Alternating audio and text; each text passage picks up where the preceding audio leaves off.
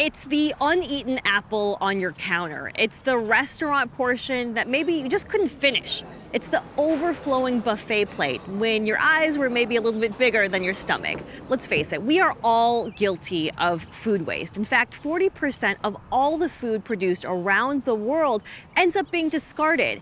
That's a staggering statistic with massive environmental implications. I'm Michelle Steele, and in partnership with Hilton, I'm talking to changemakers focused on finding solutions to the world's most pressing environmental problems. This is Extending Our Stay.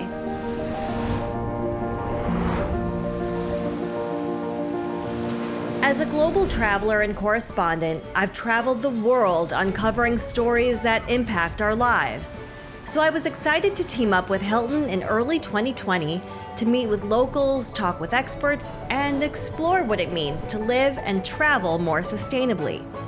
We didn't know then that challenges like food scarcity and food waste would be exacerbated by a global pandemic. Basically, the amount of food that's wasted every day could feed one of us for our entire lifetime times 5,000. And when you relate that to the climate, uh, most people aren't aware that actually 26% of our greenhouse gas emissions comes from food. So that means we're emitting a lot of greenhouse gas emissions for literally nothing. So we're throwing out tons of food, yet nearly one in three people around the world did not have access to adequate food in 2020. That number has been slowly on the rise since 2014, but it jumped by 320 million people under the shadow of COVID 19 as much in one year as the preceding five years combined. This is due to a number of factors, notably economic downturns and inefficient food supply chains. This is Claire. She runs a food bank in Portland, Oregon called Urban Gleaners.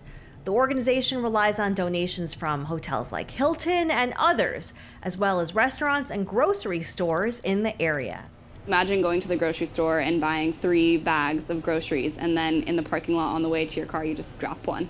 Leave it there. Don't take it home with you. That is really how much food you're wasting. And people don't even realize it. Since the pandemic started, many food banks have had trouble keeping shelves stocked, which means the communities that Claire serves might not be getting what they need. If we've learned anything at Urban Gleaners this year, it's that this is a small piece of a much larger puzzle. We are happy and so lucky to be doing the work that we're doing, but we definitely need help, as do many of the other organizations that are doing the same work that we are, trying to keep food waste down and keep people fed in our local community.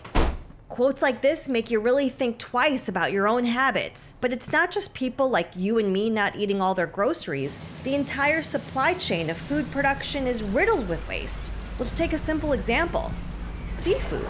Hi, my name is Jacob Harth. I'm an executive chef and owner at Erizo in Portland, Oregon. Jacob sources his restaurant's seafood locally and uses every single piece of the fish he catches. But for many restaurants, that's not the case. Fish go to processors, best parts get used.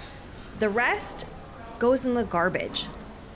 So, one of the main problems with, with waste with seafood is that it comes into the restaurants or it comes you know, from the fishing vessel to the truck that's taking it somewhere, and it's already at a 40% yield.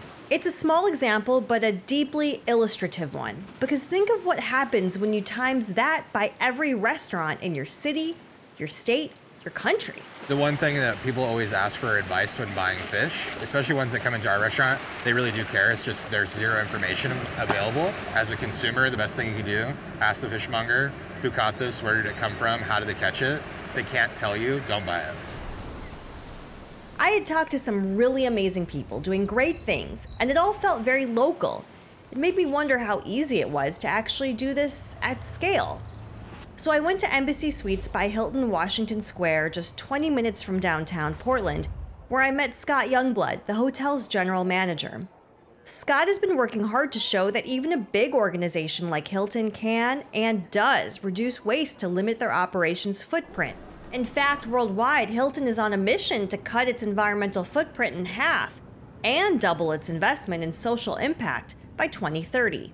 We have to continue to be more creative, more thoughtful, and more practical in our approach. And it's not just about engaging our employees, it's not just about what we can do ourselves, but it's really about uh, creating a sense of community with our guests who choose Hilton because we're here to make a difference with them. You can also ask us what we're doing to reduce waste. Every hotel should have that answer. Every hotel should be excited to answer that question. Hilton works with its hotels and team members like Scott to reduce food waste at every step of the food and beverage process, from purchasing and menu planning to donation of excess edible food and thoughtful disposal of inedible food refuse. You see, because it's about more than just the meal on your plate, it's the time and resources and people that help get it there. We all do our part, learning where our food comes from, buying only what we can eat, and increasing access to communities in need.